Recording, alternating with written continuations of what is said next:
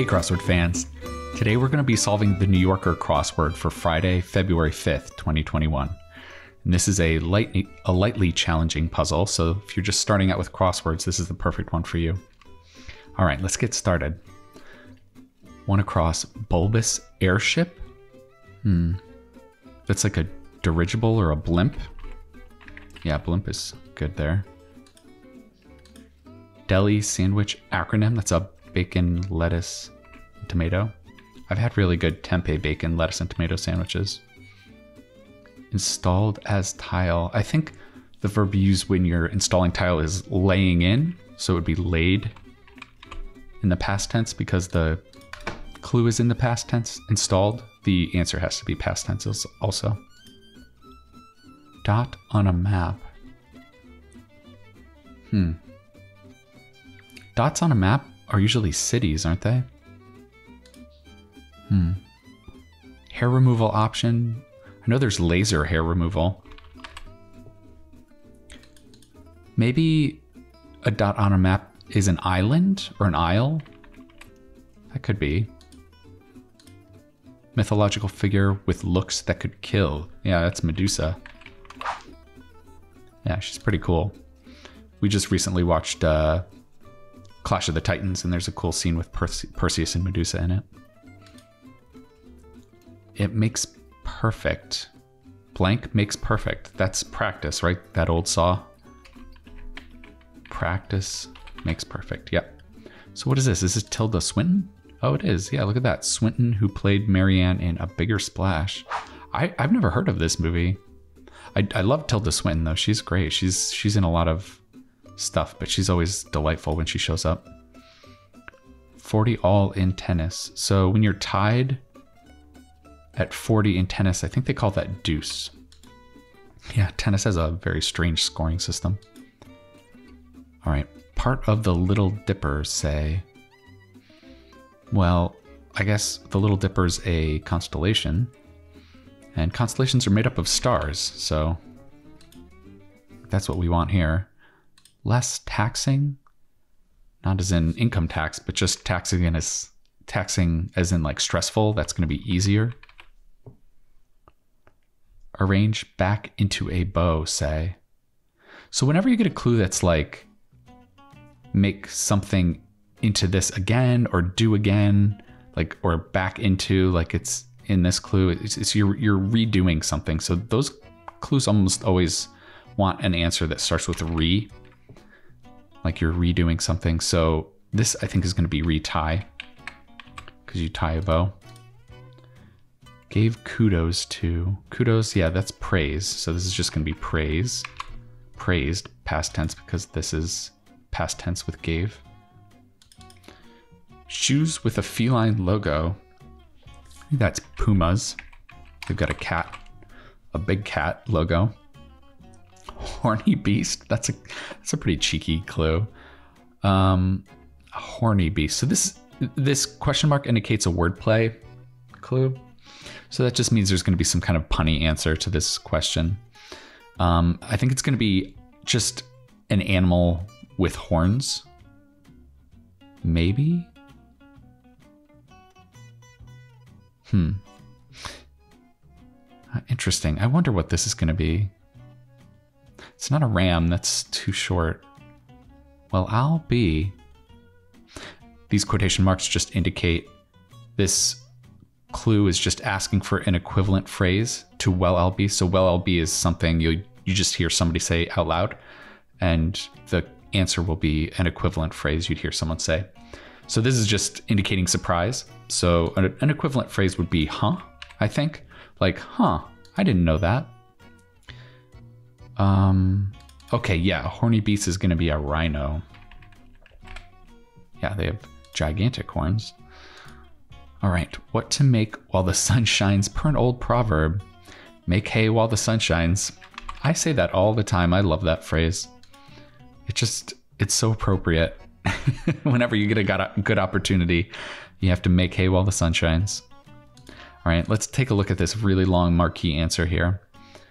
Do my eyes deceive me? Okay, so this is another quote. It's another phrase that we're going to find an equivalent for. So it looks like it starts with am I. Maybe it's am I seeing things? Let's see if that fits. Yeah, that fits perfectly. Excellent. Yep. And, you know, it's nice to see this parallel. It has the word seeing in it, and the, the clue has eyes in it. Yeah, that's a very nice one for one swap out here. Sudden pull. I guess that's a yank. Bed cover. Okay, we've got another wordplay clue, so. Hmm. What's another kind of bed? Because generally, my strategy when I'm doing wordplay clues is I think about what the meaning of the clue is on its face, like the most obvious reading of it, and then try and think of other meanings because it's almost never what it looks like on its face when it's a wordplay clue like this. So a bed cover, the first thing I would think of would be like a sheet that you would put on a, a bed that you'd sleep on. So now I'm going to think about, well, what other kind of beds are there? And I think the first other kind of bed that comes to mind is like a flower bed. So something you could put on a flower bed would be soil. And that looks like that fits perfectly here. So put that in. Get out of Dodge. Okay, get out of Dodge means you're gonna like leave town, right? So I think the answer could be skip town, possibly. Milky coffee order. That's a latte. I don't really drink coffee, but my wife does, so I, I kind of got some coffee knowledge just through osmosis through her. Stop living in the blank. Stop living in the past. Mm-hmm. Fires off as an email. Another way to say you fired on off an email is you can say I shot off an email or shoot off an email. So this one's present tense, so you want the present tense version. Blank Beverly Hills, 1989 Shelley Long comedy. Hmm. I don't think I know this one. I know Shelley Long, but I don't think I've heard of this movie. Let's see if we can get it on crosses here. Has significance. Hmm. Maybe it's not maybe it's not shoot because it should end in an S actually because it's kind of like a present tense clue. So maybe this is just sends. Fires off. Sends. Yeah. And then has significance could be matters. Yeah, it means something. Okay. Light bodied dry wine. Hmm. I've had some of this before. I like this wine. I think this is Pinot Noir. Yeah. I think this is, if you've seen Sideways, that's the favorite wine of the main character in that movie. And as you can see, as I'm solving, I'm not jumping sequentially from um, clue to clue. I kind of build off of answers I've already entered in the grid, and I feel like that's a a much easier way of making progress because you get a letter or two into a an answer, and that really helps you um, hit on what the actual answer is. Spanish artist Juan or Joan? Mm, is it Miro, maybe? Juan Miro? I think that might be right. He was on the puzzle the other day as a contemporary of Hans Arp and Salvador Dali. So I think I remember his name from that. All over again. Hmm. You're repeating something. Huh. I wonder what that's going to be. Anything else? What else can you say if you want to be finished with something? Are we done? Looks like it fits nicely in there. Embellish as a resume. I guess you can say you pad your resume. Oh, look at this, a cross clue here. Like 57 across EG, so like Pinot Noir, for example, and Pinot Noir is a red wine. So it's just gonna be red here. Some pillow filling, uh, down. Don't like to see that. Should all be polyester at this point. All right, all over again anew. Yes, that's good. What is this? Troop Beverly Hills? Is this about like Girl Scouts or something? Had a lead foot. Yeah, that's going to be sped. You speed if you have a lead foot, right? Okay, I guess it's Troop Beverly Hills. Hmm. I wonder what that's about.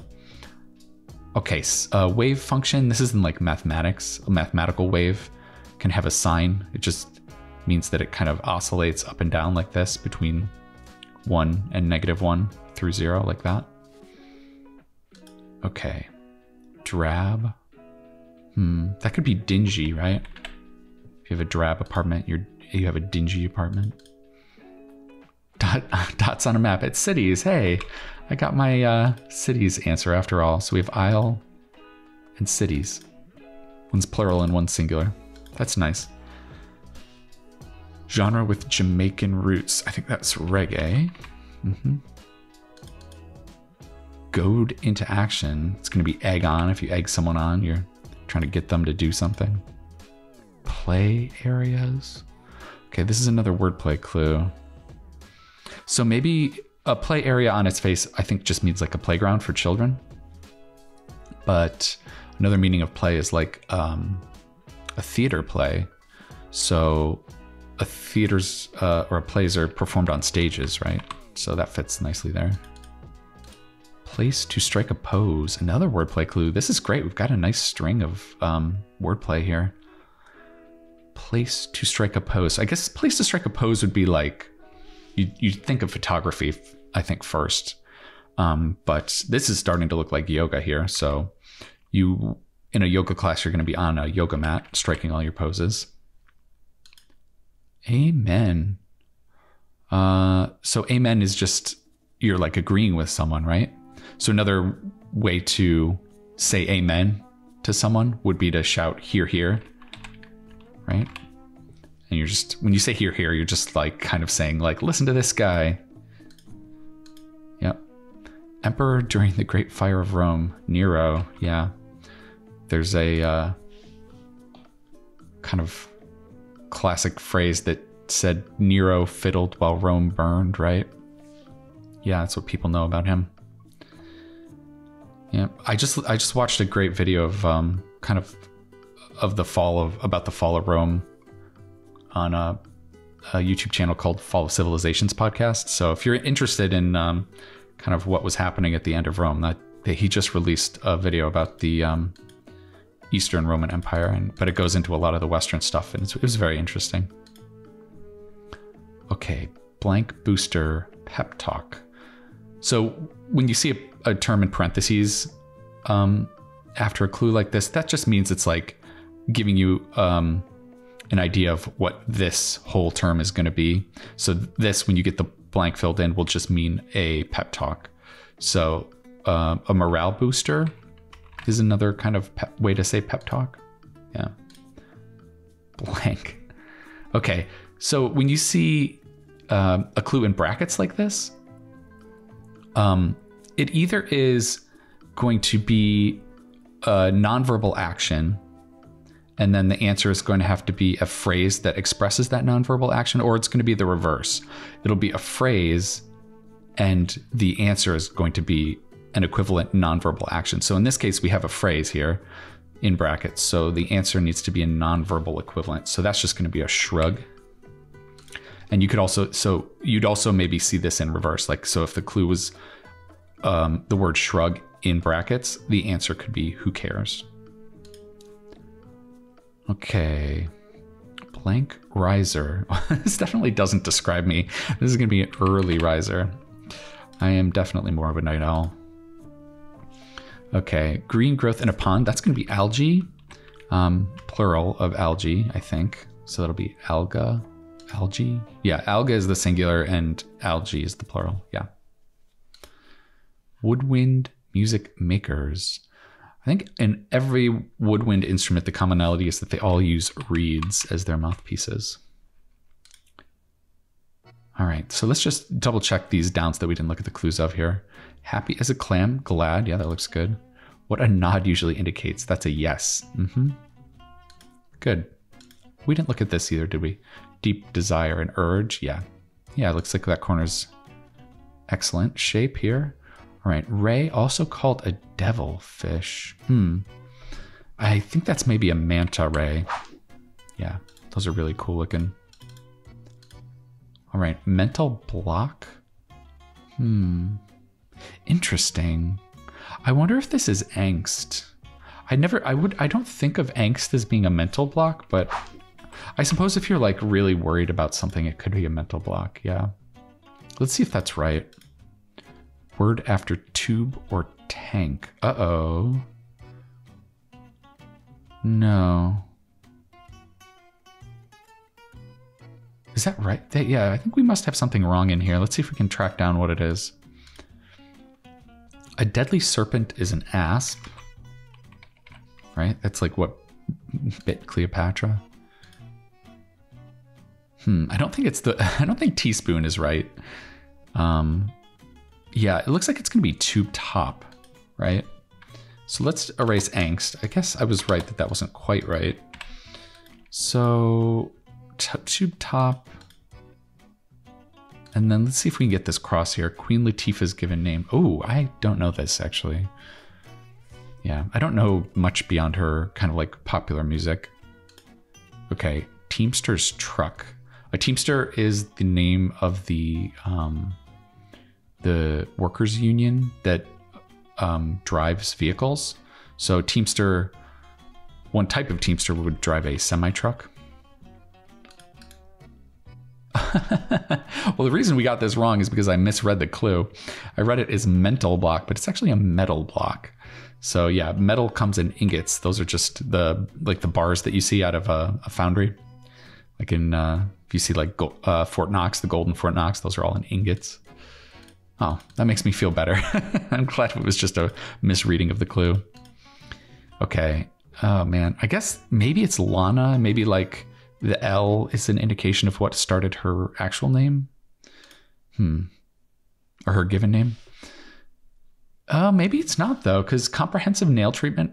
When you think of if you go to like a, a spa and you get all of your nails done, that would be a manicure and a pedicure. So I think that would be mani pedi. So it's Dana. Interesting. All right. App with crowdsourced reviews. I guess that's Yelp. Yeah, it's where you go to find out all your neighborhood joints, how, how they uh, rate. Okay, quell, that means to just like lessen. Another word for that would be allay. Like I'll allay your concerns. Military attack. I don't know about this one. This could be a few different things, I think. Hmm. Let's see if we can get some crosses to help out here. Transcript stats. Well, the the clue is plural, so I think we can maybe safely put it in S at the end at least, even though I'm not sure what this is going to be. Maybe a transcript is your grades, right, in school, so maybe it's GPAs, grade point average. And the reason you can kind of guess that it might be an abbreviation like that is because in the clue, this word is abbreviated. It's stats instead of statistics. So usually when there's a, an abbreviation in a clue, the answer will be abbreviated also. So that's another way to kind of get a leg up on what the answer should be. Frustrated outburst. Hmm. It's not like a groan or something, is it? Blank twist. That'll be a plot twist. Those are always exciting. Unless they're spoiled. All right, Florida's official state reptile. I mean, it has to be an alligator, right? What else could it be? Um, okay, feat that's far more common on a mini golf course than a regular golf course. I imagine that's a hole in one. You don't see too many hole in ones on real golf courses, but if you're lucky, you can get one or two in uh, 18 holes at your local mini golf course. Okay, so I think the military attack is a siege. A lively comedy about a guy who isn't for weekend at Bernie's. That's pretty cute. That's a cute. I think that that's going to be a tagline. A lively comedy about who a guy who isn't lively, I guess, because he's dead. Now, the gag in Weekend at Bernie's is they're carting around a, a dead body for the entire movie.